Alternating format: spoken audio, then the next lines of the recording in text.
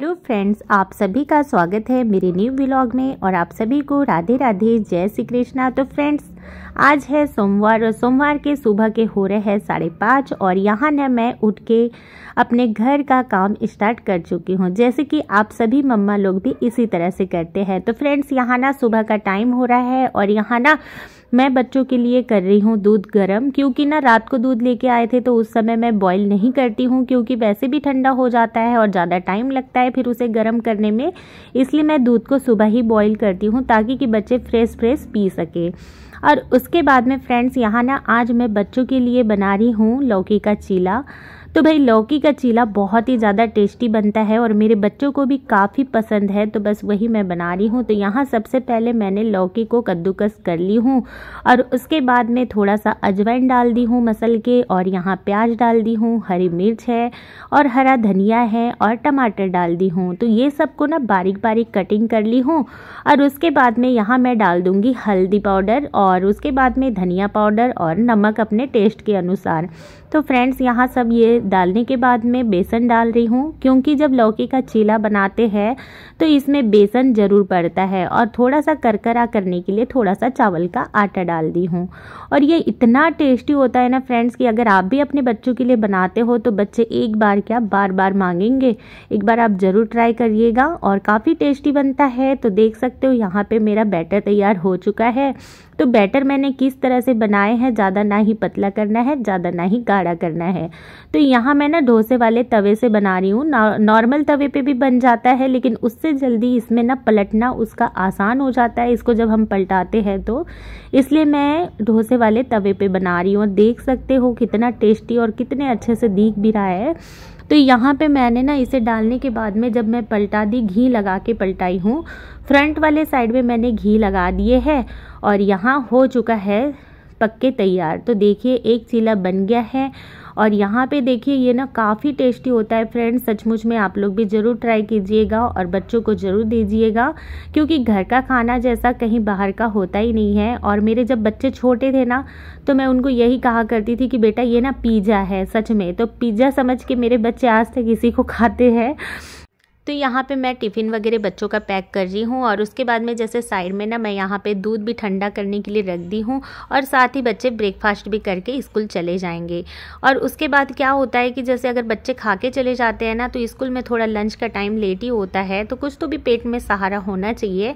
और यहाँ पर जब जा चुके थे बच्चे तो यहाँ पर हस्बैंड का लंच यहाँ पर मैं तैयार कर रही हूँ। तो भाई आज सब्ज़ी में मैं बना रही हूँ शिमला मिर्च, बीन्स और मटर। तो जैसे कि अभी जो सर्दी के मौसम में ना मटर सचमुच में हर सब्ज़ी में हम लोग मटर यूज़ करते हैं। जैसे कि मैं अपने बारे में बता रही हूँ तो हर सब्ज़ी में मैं डालती हूँ।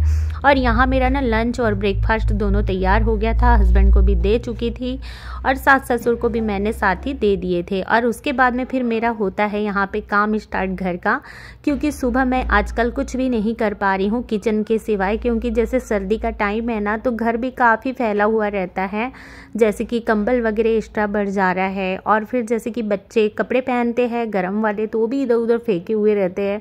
तो उन्हें भी सब व्यवस्थित करना बहुत ज़्यादा ज़रूरी हो जाता है और साथ ही साथ घर का एक्स्ट्रा काम, जैसे कि अगर हम आर्टिफिशियल जो भी डेकोरेट करते हैं तो उसे भी हमें समय समय पे क्लीनिंग करनी होती है और साफ़ करके उसे व्यवस्थित जगह पे रखना होता है।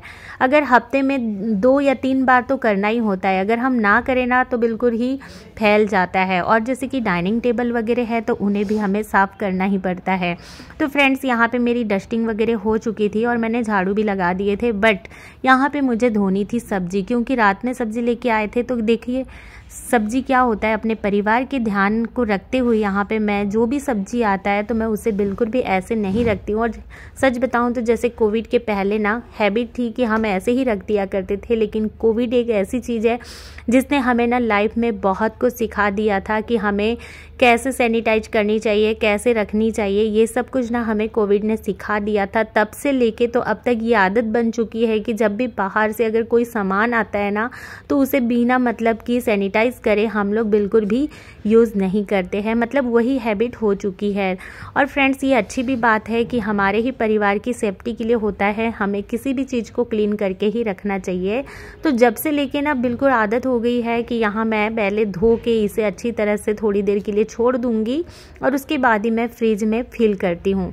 तो फ्रेंड्स यहाँ सारी सब्ज़ी मेरी धुल चुकी थी और कभी भी मैं सब्ज़ी को जब धोती हूँ ना तो नमक डाल के ही धोती हूँ। जो भी उसमें बैक्टीरिया वगैरह होता है, वो सारा क्लीन हो जाता है और ये बीट रूट है तो इसे भी मैं साफ़ कर दूँगी। तो फ्रेंड्स बीट रूट ज़्यादा दिख रहा होगा क्योंकि ना मेरी सास को बॉईल करके देना पड़ता है तो इसलिए हम लोग बीट रूट वगैरह ज़्यादा लेके आते हैं।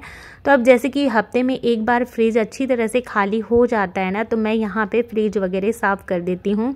जैसे कि कभी अगर थोड़ा मुझे लगता है कि थोड़ा ज़्यादा गंदा हो गया है तो उसे मैं अच्छी तरह से विम बार करके साफ़ कर देती हूँ। अगर कम हल्का हल्का गंदा होता है तो फिर उसे मैं कपड़े से ही साफ़ कर देती हूँ। तो मतलब कि मुझे ना आ, मतलब पंद्रह दिन हो गए थे ऐसे पानी से धुले हुए विम बार करने को तो इसलिए मैं इसे अभी पानी से मतलब कि विम बार करके ही धो रही हूँ। अगर कम हल्का सा होता है ना तो कपड़े से ही गर्म पानी लेके मैं साफ़ कर देती हूँ। तो फ्रेंड्स यहाँ देखिए बातें करते करते मेरा फ्रिज के भी सारे बॉक्स वगैरह मैंने क्लीन कर दिए सब्ज़ी भी यहाँ पे मैंने रख चुकी हूँ।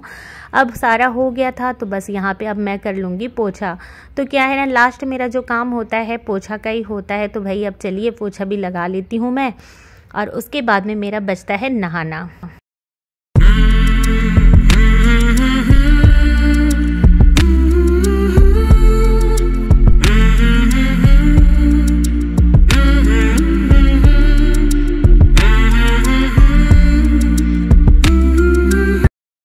फ्रेंड्स आप सभी को एक बार राधे राधे, और अभी ना मैं जस्ट नहा के निकली हूँ, और अभी टाइम हो रहे हैं टेन थर्टी तो चलो दिखा देते हैं। तो यहाँ पे मैं कान्हा जी वगैरह को नहला दिए थे, उनको भोग वगैरह देने के बाद मैं धूप, अगरबत्ती वगैरह लगा दी और पूजा पाठ हो चुका था। खाना वगैरह खाने के बाद थोड़ा सा धूप वगैरह मैंने सेक लिए और उसके बाद मैं यहाँ आ चुकी अपने काम पे। तो हाउस वाइफ का काम ना हो, ऐसा कभी हो नहीं सकता। तो फ्रेंड्स मैंने सब्ज़ी वगैरह जितने धूले थे तो वो सारे फ्रिज में लगा दिए और फ्रिज के बॉक्स वगैरह भी सारे सेट कर दिए। उसके बाद में मुझे ना यहाँ पर थोड़ी सी सिलाई करनी थी। तो जब मैं सिलाई करने बैठी तो मशीन में जब सिलाई ना जब देखी तो सिलाई ठीक से नहीं आ रही थी तो फिर मुझे यहाँ पे मशीन को रिपेयर करना था। तो रिपेयर करने के लिए देखी तो स्क्रू खुल ही नहीं रहा था। तो यहाँ पे ना खोलते खोलते मैं परेशान हो गई तो फिर उसे मैं छोड़ दी। मैं सोची कि चलो अब ये आएँगे तो इनसे खुलवा लेंगे। तो यहाँ पे ना जो श्याम का काम होता है, वो मैं निपटा के अब रात के खाना में लग चुकी हूँ। और जब फैमिली में मेंबर्स ज़्यादा हो जाते हैं ना तो अगर फटाफट खाना बन जाए और फटाफट खा के ना फ्री हो जाते हैं हम भी तो यहाँ पे मैं फटाफट खाना बना लूँगी। तो आज खाना में दाल और लौकी बना रही हूँ। तो दाल जो है मेरा मिक्स मैंने डाली हूँ। इसमें मैंने डाल दी हूँ चने का दाल और उड़द का दाल और मूँग दाल। और जब मैं दाल और लौकी बनाई, बनाती हूँ या कोई दाल भी सिंगल बनाती हूँ तो हरी मिर्च और लहसन ज़रूर ज़रूर डाल देती हूँ। तो उससे ना काफ़ी दाल का टेस्ट बढ़ जाता है और उसके बाद में यहाँ पे ना सीटी वगैरह लग चुकी थी दाल की और दाल भी पक चुकी है। अब मैं यहाँ लगा दूँगी तड़का। तो जैसे कि अगर यहाँ तड़का लगा दूँगी तो सबसे पहले मैंने थोड़ी सी हींग डाल दी हूँ, जीरा डालूँगी और सरसों डाल दूँगी और कड़ी पत्ता डाल दूँगी। तो इससे क्या है, दाल का जो टेस्ट है अच्छा लगता है और थोड़ा सा अदरक डाल दूँगी कद्दूकस करके और यहाँ पे प्याज वगैरह से मैं तड़का लगा दूँगी। तो फ्रेंड्स, यहाँ तड़का लग चुका है और थोड़ा सा दाल में टेस्ट बढ़ाने के लिए रेड चिली डाल दूँगी। उसके बाद में यहाँ टमाटर नमक डाल चुकी हूँ और देखिए यहाँ पे टमाटर भी पिघल चुका है, अब यहाँ पे मैं डाल दूँगी दाल। तो देखिए, ये सब तो हर कोई बनाता है, लेकिन देखिए, सबका अपना अपना जो विधि होता है ना, बनाने का तरीका होता है थोड़ा सा चेंज होता है। तो यहाँ पे देखिए, मैंने दाल वगैरह डाल दी हूँ और इसमें थोड़ा सा पानी डाल दूँगी। तो ना ही ज़्यादा पतला, ना ही ज़्यादा गाढ़ा। और इसके साथ ना हम लोग खाएँगे चावल, क्योंकि क्या है ना, सुबह भी मैं रोटी बनाती हूँ, दोपहर में भी। रोटी ही बनता है, मेरे बच्चे ज़्यादा करके ना रोटी ही पसंद करते हैं। और जब लिक्विड जैसे कि दाल वगैरह बनाती हूँ, लिक्विड वाला सब्ज़ी होता है, उसी के साथ चावल खाते हैं। तो भाई, यहाँ पर मैंने कुकर वगैरह धो ली, क्योंकि मुझे चढ़ाना है इसमें चावल। तो यहाँ पर ना चावल चढ़ा दूँगी तो सभी के लिए चावल चढ़ा रही हूँ। तो यहाँ पे चावल वगैरह धो के रख दूँगी और क्या है ना कि मेरे ससुर खाते नहीं है चावल आजकल, जैसे कि उनको शुगर है तो चावल बहुत कम देती, लेकिन बाई चांस कभी कभी चल जाता है। तो चावल यहाँ देखिए एक साइड में रख दी हूँ और यहाँ ना दाल भी बन के तैयार हो चुका है। तो देख सकते हो कितना अच्छा दिख रहा है दाल और प्लीज़ अगर आप लोगों को ना मेरी वीडियो थोड़ी भी अच्छी लगी होगी तो प्लीज़ सब्सक्राइब ज़रूर कर दीजिएगा और बेल आइकन को ज़रूर